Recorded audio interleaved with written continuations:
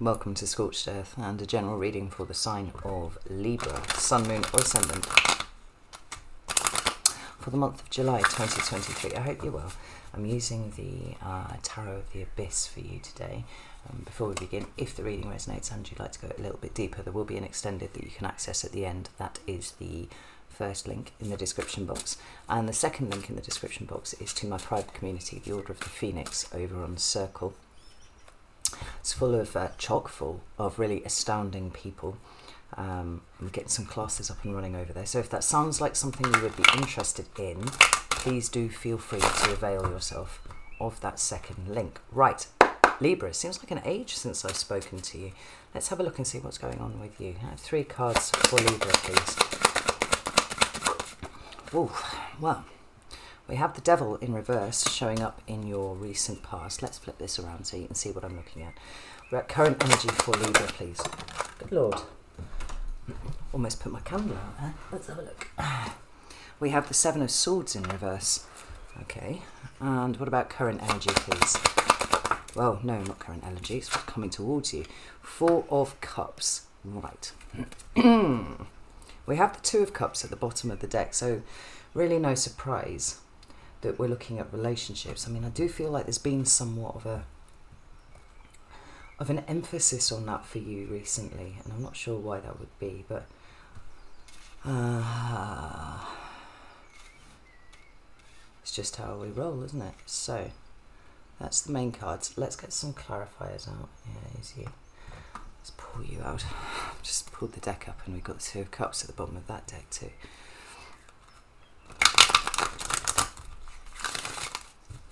So, let's shuffle that in. Tell me why the devil is here for Libra, please. Three of Swords.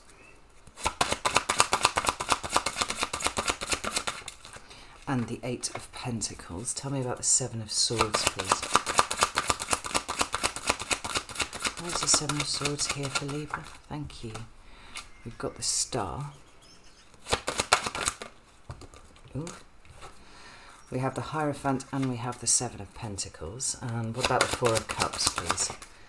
Four of Cups again, this time in the reverse. I actually like that. And the Temperance card, indeed, I've actually got goosebumps coming up now. I like this because of the feeling that I get that it is a choice for you. I'll put it as simply as that. We might get another deck out and, uh, and pull some more cards. We put those where we can see them. Um, got the Nine of Wands at the bottom of the deck here. It's almost like the Four of Cups is actually a mirror of itself here, and I actually want to put the Temperance card there, so make of that what you will. But let's get started. So, apologies a about the light, but it's the best I can do. We start off with the Devil in reverse. The Devil is card of Capricorn in the Major Arcana, but it does refer to um, ways in which we feel stuck quite often, and that's generally because we're coming from a place of fear about something, right? The Devil card is uh, usually depicts this devil in the background, and we've got two people in the foreground who've got chains around their necks, right? It, it looks like quite a restrictive situation, but the understanding that we arrive at with the devil is that he has no power of his own. So where there is a situation where we feel stuck, whether it is through um, addiction, codependence, any of these sorts of things, it's generally because it's within our power to remove ourselves from that situation, but we have not yet worked out how to do that. In some cases, we may not actually want to do that. Now, the fact that the devil card has shown up in the reverse for you is, is quite striking because it, it seems to be coming to a point of awareness that certain things that you might have held to be absolutely immutable. Or anything but. And it comes down to you. It comes to the, down to the, the decisions that you make. Your uh, your particular perceptual lens that you've been looking at something. And this could be a particular situation. It could be a relationship. But it also could be reality generally without wanting to sound too, um, you know, Leo and Mercury like I am, like sometimes these things are literally as big as that, where you realize that you've been sitting in a kind of little box with the way that you see the world and you see your relationships and you see any particular situation that you're in. And the truth is something somewhat of a sidestep from that. And you can see where a particular kind of mindset or a particular frame of, of, of thought or a particular mental process has been keeping you almost in the dark. I feel like that very, very strong. Because this Three of Swords that's arriving here, it's usually the one card in the tarot that most people don't need explaining to them. Like the, the visual is so strong and it's so familiar to anybody who's probably over the age of 16, I would think. Generally, our first experience of that happens at some point in our teens. it's the card of a broken heart. It's the card of of emotional pain.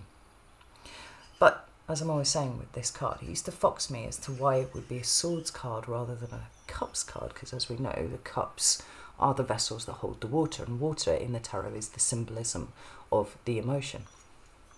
So why on earth would it be swords? Would it be air? And I, came, I came to the conclusion that it was the point at which the truth hits our hearts, right? Mind and heart connect, and there is a realization that there was not before. And in light of that, everything changes. Like nothing can be quite as it was before. So, whatever the thing is, it could have happened years ago, but our awareness of it is happening in the here and now, or in the recent past, at least for you. Um, and as such, it changes us. I mean, everything shifts and we can't see things the way that they were before. I mean, Three Swords can encapsulate all sorts of feelings, but ultimately it is that one of there's something destabilizing about it. Now, what I actually like is the fact that the devil is in reverse here, followed by the Three of Swords, because it feels like there's somewhat of a processing. I can't remember what we talked about exactly last month, but I feel like it I feel like it was kind of wandering around the point of needing to pick a side. The Three of Swords may well have picked up, but may have shown up in that reading too. It's this sense that this information has come in, and you cannot see the world the same way anymore. Like things have changed, something is different, and that information needs to be assimilated into your reality as it, as it exists right now. And I feel like the devil in reverse is an awesome indication that that is beginning to happen, right? We've got that Eight of Pentacles there, speaking about mastery, right? About work, about the things that we, we have to really apply ourselves to in order to become a master of whatever it is. Now, this is the information that came in and the corresponding uh, spotlight that's been shown on a way that you have been thinking very restrictively about stuff. and then the ability to be able to do something about it, right? You may not be able to change the situation, whatever it has been, and you know, with this Two of Cups and the Nine of Wands there, I really do feel like it, it's relationship based for you. It does not have to be your significant other, if you want to put it that way, your husband, your wife, your spouse. It's two things that mean the same thing. Um, you know, boyfriend, girlfriend, that kind of thing it, it can be family relationships. It can be, uh, you know, a boss perhaps who, you know, you've been working your ass off for, trying to support their company, only to realize that you've been taken advantage of again and again and again. And the reasons why your life is difficult is because you're dedicating so much energy to the improvement of somebody else's circumstances, right? You have to take it as it resonates to you. Remember that this is a general reading. But it, it's that sense that the light has been shine, shone on something and you can see where you've been stuck. And that might, might well just be a thought process that you'd had, you know, a particular view of real, reality. And now it's beginning to shift. There's something that you can do about it. Might not be that situation, but it can be your response to the situation. And that feels to me to be the most important thing in your recent past. So when we get to where you are right now, your current energy. Well, not only do we have double major arcana there, so there's something really quite big going on, but we've almost got to step back from the Eight of Pentacles to the Seven.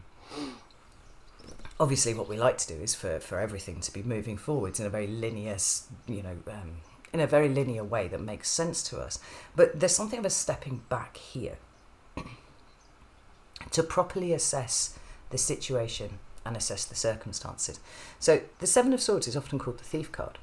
It talks about deception in some ways you know somebody is taking something from you. But the way that i read the cards because you are the center of everything because reality exists actually in here. It's about the way that you decode it. what we see from this card is is a revelation in the ways that we have deceived ourselves about things. And that often happens at such a subconscious level. We have no idea about it until we trip over it somehow, right? So it can be, uh, for example, going back to the um, the example that I used of of relationships, being absolutely certain that somebody was doing their best, that they were doing the right thing, always trying at least to do the right thing, seeing the good in someone rather than taking stock of their behavior and what that tells you. If you take it out of, uh, if you take it out from behind the rose tinted glasses that it's been starting, I take glasses off and look at it for what it actually is and again, it's in the reverse for you. So there is not only information that's come in that has liberated you in some way, as uncomfortable as it may be, but there is also a sense that you are not deceiving yourself anymore about what this actually means in reality. And we have the star and the Hierophant and the Seven of Pentacles here. Now, star is the card of Aquarius, Hierophant is the card of Taurus.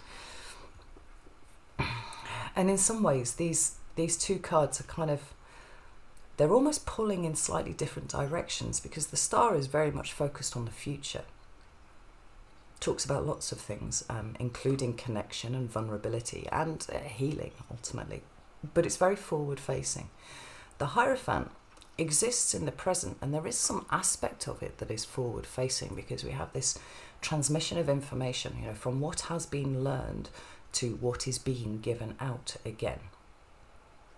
kind of like history, um, heritage and legacy, let's put it that way.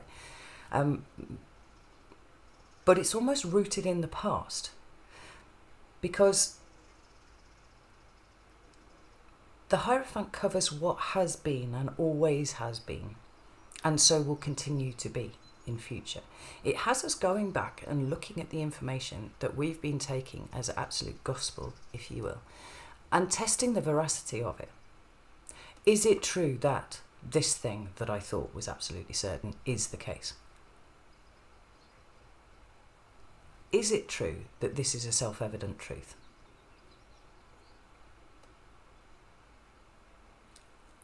And if it is, or whether it isn't, what does that mean about where you go from here moving forwards? What does this mean about the nature of the connections that you will have in the future? What does it mean about your capacity to heal from something? There's a tension here, as in a tension between the energies of, of these cards. It, it feels a little bit like they're kind of circling each other and going, well, not everything that I know is true, but then not everything that I know is false. So, how do I work out the difference? You know, what filters have, have I been using so far that have led me to a particular view? And how much have I been, you know, pushing that back out into the universe by, by you know, the way that I behave or the, the certain value systems that I hold moving forwards? Now, I love the Seven of Pentacles, even though it's kind of a slightly depressing card. Um, the, the received wisdom of this card is that this is a harvest that is failing. You can't really see it in the coloration of this deck here. but on the original deck, you can see that the uh, the leaves are kind of browning at the edge, and there's this idea that the, the what you have invested is not going to give you the yield that you anticipated at the start. So what we have here is a moment in time where somebody has had this realization, and the question is, do I just keep working hard at it? Or is it time to cut my losses? You know, the question of where it is that you actually stand is what is being brought up here. And the Seven of Pentacles can say, oh, oh we're going either way, this way or that way. But it has, it, it has us questioning ourselves because if we just continue the way that we have been, there's something of a truth that we're denying in ourselves because we've seen it here. And in the spirit of radical honesty, it doesn't feel like we can continue the way that we have been. So there's some question of where it is that we want to go. And a question of the contemplation of, of what sort of. What's the word that I'm looking for? Retro engineering we're going to need to do in order to reach that. Whether that's a point of healing or a goal or an aim, you know, the, the, the star card is sometimes called the wish card. You know, what are your highest hopes, goals, dreams, aspirations? And are you on a path to being able to achieve them? Or is there something about your history, something about your heritage, something about your legacy, or is about your past that is stopping you from being able to produce a legacy that is much more in alignment with where you actually want to go? It, the energies of this are really quite big. I felt like last month, I think, um, I I'm kind of assuming here from, from what I can remember, that the reading last month was kind of specific. It, it was extremely specific in terms of uh, a particular relationship or relationships, because again, it doesn't have to be just one person. It could be relationship to society, because that's another thing that the Hierophant talks about, or it can be, um, you know, you know, kind of like the established order of things, uh, hierarchical institutions. How much are you gelling with what these things actually stand for? And in the long term, realistically, are these going to stop you from achieving what it is that you want to achieve?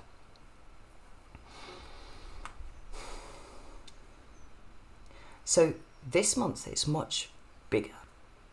Hmm? It's it's almost touching on not only your view of reality, but whatever core structure of values you're working to, and your personal philosophy. Because there's something here that is jarring with the truth that you, you perceive. And the question is, what are you going to do about it to fix it? It could be that it seemed really quite obvious initially. Well, I just need to work harder. I need to put more effort into this thing. I need to invest more. But then we come to the Seven of Pentacles and it's not quite as clear as that. Not now. Not now that you've really given it some thought. And this desire to be authentic in the way that you are dealing with the world generally seems to be more important than anything else now. And I like that, right? All about authenticity and sovereignty and all those kind of things, you know? When we look at what's coming towards you, an interesting way that I felt like I needed to put those cards. We have the Four of Cups, and it's kind of sitting in a reflection of each other. So, the Four of Cups for me talks. You can talk like all of the cards in the tarot, it's multivalent. It has lots and lots of meanings. We can be talking about a certain level of boredom and apathy. We can be talking about a lack of gratitude. We can be talking about um, rejection. You know, the act of being rejected. Or, you know, when we get a bit deeper down into it, abandonment issues that are triggered and the um, the behaviors that stem from anticipation of that, right, of your abandonment issues being triggered in some way. And we know Libra is is about union and harmony and all of those good things that we see in the Lovers card, right? But being a Libra doesn't mean that you've come out into the world in a very balanced state. It means that the point of view is to achieve a balanced state. Right? When we think about the Justice card, which is the card of Libra in the major arcana, it's about achieving that point where, where fairness and doing what is right, regardless of whatever it might be that has been keeping you stuck, becomes paramount.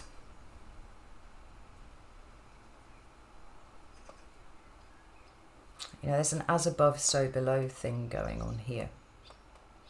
And maybe it is that you think that you've been doing the right thing for a long time and suddenly you've realised that you're not. I mean, I would say that that was almost certain from what I'm seeing on the table here. Yeah, let's get the John Barrow out here. Because the so below part of this uh, reading here, with the Four of Cups in reverse, you know, that is a card that speaks to me about gratitude. It's a card to me that, that, that speaks of a, a lack of a fear of abandonment, of rejection, of those things that pain you, right? in favour of doing what is right for you, generally, but certainly in terms of your healing. But what allows you to achieve some sort of equilibrium, some sort of balance? Like this is going to be really, really important for you through the month of July. And we've got that Nine of Wands at the bottom of the deck. Now, that is about personal resilience. It is also about boundaries, too. It speaks to something that is kind of approaching the end, but is not quite there yet. And because what I'm saying here is a process of assimilation, it's almost like you've received so much information, now you have to make it make sense. And a lot of the making it make sense is down to you and the way that you see things. So,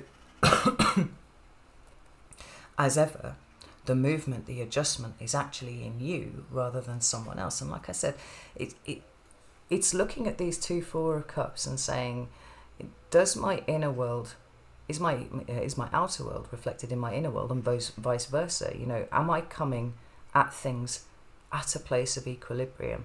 Or is there something that is sitting in the background that is kind of sending everything a little bit wonky? Tell me about this temperance card please Thank you. Well, there we have the Queen of Swords, which is you. That's the card of Libra in the court hierarchy. And we have also the Knight of Wands, which is Sagittarius. both very quick moving energies. I mean, your cardinal air, Sagittarius, is mutable fire. Um, but they're coming to meet each other. And I think that this is really important because we have the discernment, we have that ability to process like vast amounts of information that is very Libran.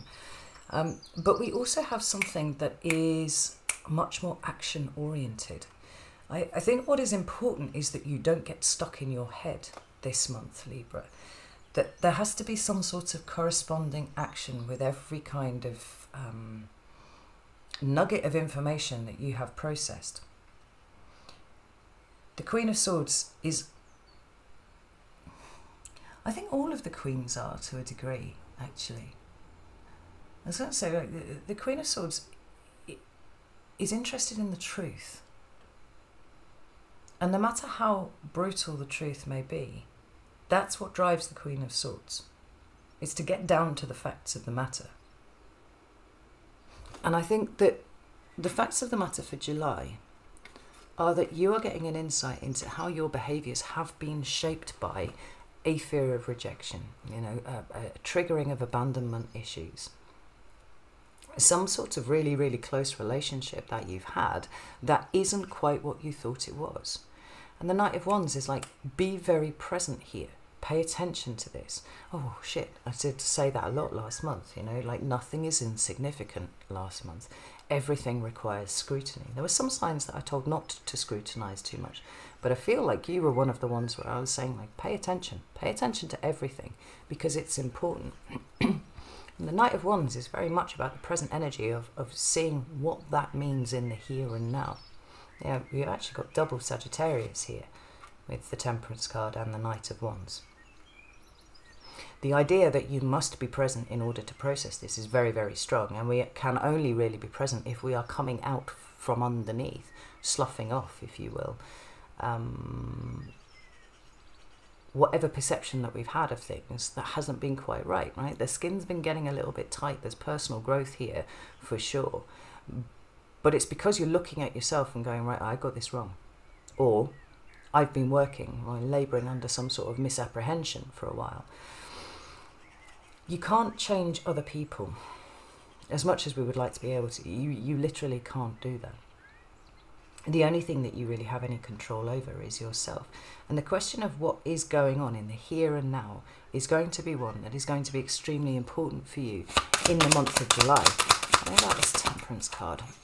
so we've got the Fool in reverse and we've got the Hierophant in reverse.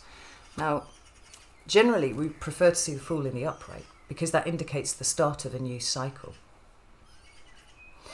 It can indicate trust and faith and, and hope and all of those beautiful, very spiritual things too, right? And sometimes it can talk about um, actual foolish behaviour, but here it feels to me like it's it's a loss of innocence and naivety, particularly with a view to self. Now, look, we have the Hierophant appearing in the upright and then in the reverse here. Now, this is very stable. This is actually very fixed and rigid because that's the way that you know these society, these society, these structures perpetuate.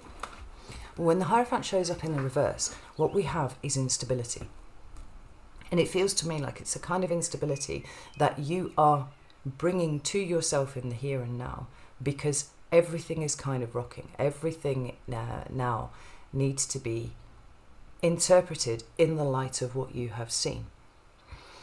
And so it could be that there are some relationships that are just kind of falling by the wayside this month. I don't think that you're necessarily going to be, you know, going hammer and tongs at someone and, and you know having huge rows or anything like that but this sense of how it's affecting your view of what is stable in your life is very very strong i don't want you to be afraid of this because i don't think that there's you know what we haven't seen is the tower. I actually saw it when i was shuffling the cards and i did wonder if it was going to come out. And there's still time for it to come out in the extended. But it feels like